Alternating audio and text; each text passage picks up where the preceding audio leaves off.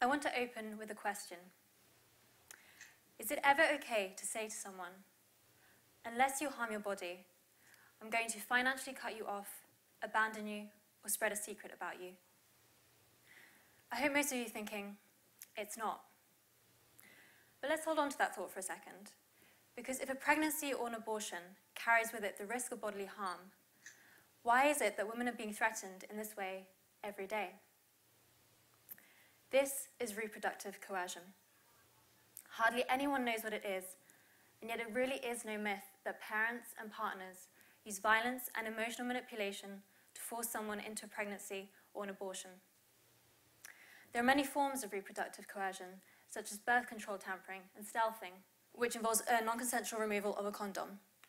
And yes, it can happen to men as well as women, where different cultures, backgrounds, and religions can affect each person's experience. But today, I want to focus on pregnancy and abortion pressure, specifically on women in countries where abortion has already been legalized.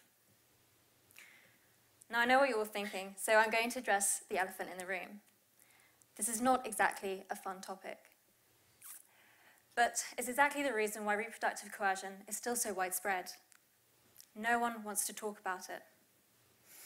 So, bear with me, allow yourselves to be mindful this evening, and hopefully we can find some solutions to the problem together. But why this topic? Well, UK government statistics show that in 2017, nearly 200,000 abortions took place. And Claire Bremner, a leading counsellor in the Abortion Recovery Care and Helpline Service, said that 75% of those women were either pressurised or bullied into having one. This is a significant risk factor for emotional or psychological problems thereafter. We clearly have an issue here. Women have fought for so long for body, bodily autonomy. But this, if this is happening so frequently, what does my body, my choice, really mean? As an advocate for gender equality and having worked in gynecology, I've spoken to many women with different experiences. I know of cases ranging from women being dragged to abortion clinics against their own will, to those being kicked in the stomach, inducing a miscarriage. I've spoken to women who nearly died owing to a coerced pregnancy, and those who are trying to raise children on their own but are struggling because the father does not wish to be involved and is now refusing to pay child support. So I felt a responsibility to bring this to light. And it seemed evident to me that the involvement of both men and women was essential, which is why I set up the He for She Society at my university. We are in a collaboration with Good Lad Initiative, and we associate with the UN Women. So, you're probably thinking, but surely the law is doing something about this, right? Well, not as much as we would have hoped. Even with the introduction of coercion into the Scotland Domestic Abuse Act recently, where reckless behaviour intended to cause someone psychological or physical harm is technically considered an offence, women are still not being sufficiently protected, as most controlling cases are dropped. Why? Well, it's not always inherently obvious that someone's being coerced. And a lot of these cases aren't taken into consideration unless it escalates to harassment. But in reality, it can take even minimal pressure in a highly emotional situation to put someone in the position where it is difficult for them to make an objective decision. So we cannot allow this to be happening several times before it is recognized. It is too late then. However, without a legal precedent, it can be difficult for the law to know how to approach these cases. And this is why we need more awareness, so that we can start to be more conscious of whether this is happening to us. And hopefully, as a consequence, we'll see more cases start to unfold. This was a situation in 1973 with the Roe versus Wade case in the United States, which was the landmark decision and basis for all future decisions on the law surrounding criminalisation and restricted access surrounding abortion. Just to show you how often this is trivialised and considered a myth, a US Legislative Council in the United States described a proposal to protect women against forced abortions as creating a problem when none exists. This is why victims of coercion are being completely ignored. And I want to tell you about one of these victims called Sophia, whose name I have changed for privacy reasons. Sophia was pressured into an abortion by her partner and family members who took advantage of her emotionally vulnerable position at the time.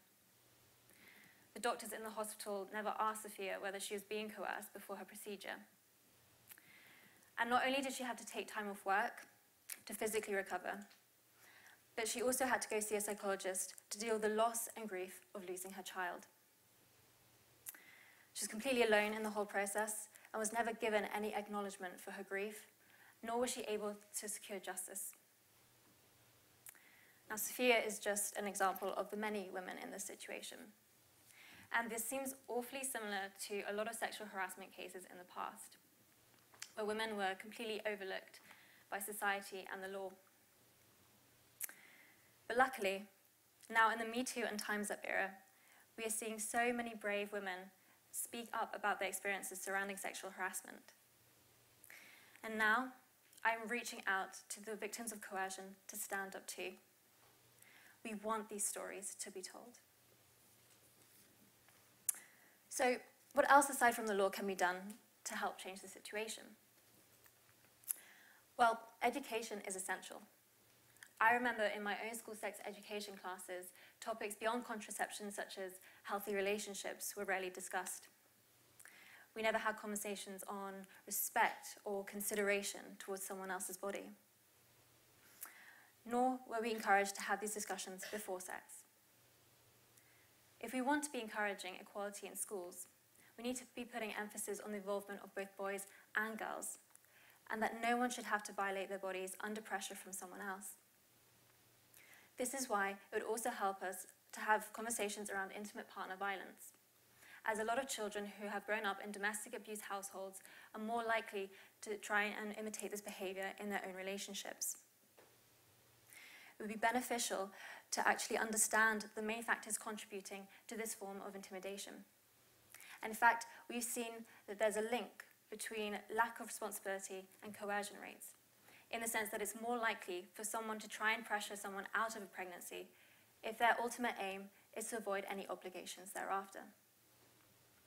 So surely this is an aspect education should be focusing on as well. When we grow up, we are told by our parents and, and schools that we are accountable for our own actions. If we don't revise for a test, we will fail it. If we're mean to someone, we should apologize. So, how about the notion of responsibility when it comes to sex and pregnancy? Surely the same rules should apply. If this were the case, we would be seeing men and women taking on that responsibility together. However, statistics from Housing Charity Shelter show differently. They show that 92% of single parent families are headed by mothers, and the majority of those accepted as homeless are single female parents with dependent children. These women are restricted by childcare duties and are forced to low to, to work low paid jobs. But why is there this big imbalance? Well, like in the case of Sophia, by putting our emphasis on women taking that responsibility, we are only encouraging an unhealthy mindset amongst young boys and girls who are led to believe that birth control is primarily a woman's duty and that she is expected to carry both the load and fault of an unwanted pregnancy. So we start to see situations where men are pressuring women not to use condoms, but who simultaneously don't want the consequences of unprotected sex. In the words of Gabrielle Blair, saying that women should simply insist on using a condom ignores a huge power dynamic that exists between men and women in the real world. Similar to saying that someone who's being harassed by their supervisor should just speak up. We know it's not that simple. In a society where women are fighting to gain and maintain equal standing with men, it is fundamental that men join us in taking this responsibility. So hopefully, we'll see, as a consequence, coercion rates decrease and we can rebalance this, the current situation. Finally, I just want to touch upon healthcare.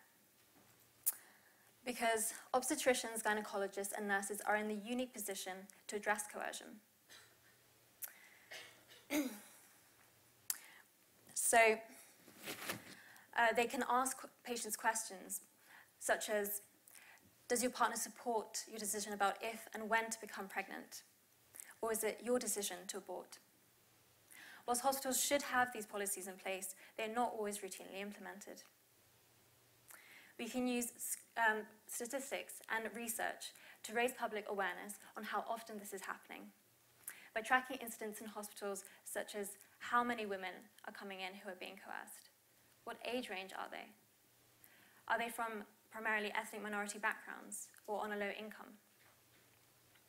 This would also help us know where to focus our attention.